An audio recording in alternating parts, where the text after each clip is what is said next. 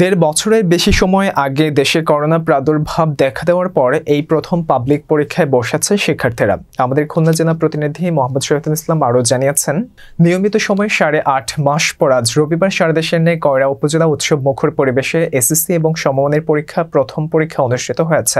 অনেকদিন পর শিক্ষা প্রতিষ্ঠান বন্ধ থাকার পর পরীক্ষা অংশগ্রহণ করতে পেরে বেশ খুশি শিক্ষার্থীরা। এবারের এই পরীক্ষা হচ্ছে সংক্ষিপ্ত সিলেবাস অনুসারে অনুরূপভাবে একশো এর পরিবর্তে পঞ্চাশ নম্বরে নেওয়া হচ্ছে পরীক্ষা। তবে পরীক্ষার প্রশ্নে বিকল্প সংখ্যা আগের মতোই থাকছে।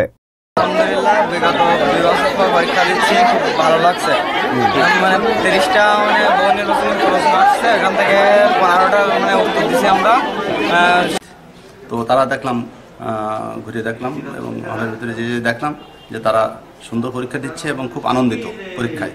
যেহেতু এত মেলা অনেকদিন বন্ধের পরে যে পরীক্ষা হচ্ছিল, তারা খুব আনন্দিত এবং সু- স্বতঃস্ফূর্তভাবে তারা পরীক্ষা দিয়েছে।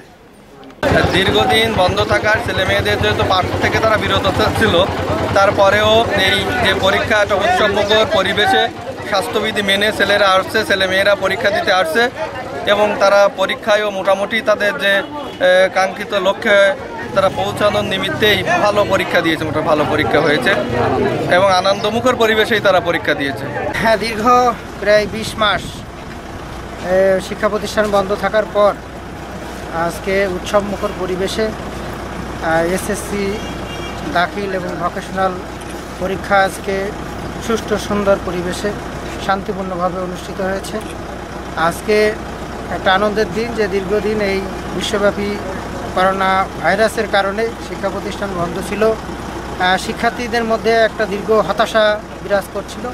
আজকের এই পরীক্ষার মাধ্যমে সেই হতাশা কিন্তু দূর হয়েছে এবং আমাদের শিক্ষাক্ষেত্রে স্বাভাবিক শিক্ষা কার্যক্রম কিন্তু চালু হয়েছে। এটা অভিভাবক, ছাত্রছাত্রী, শিক্ষক মণ্ডলী সর্বোপরি জনসাধারণের জন্য একটা স্বস্তির নিঃশ্বাস সবাই ফেলতে পারছে। এই জন্য আমিও অত্যন্ত খুশি।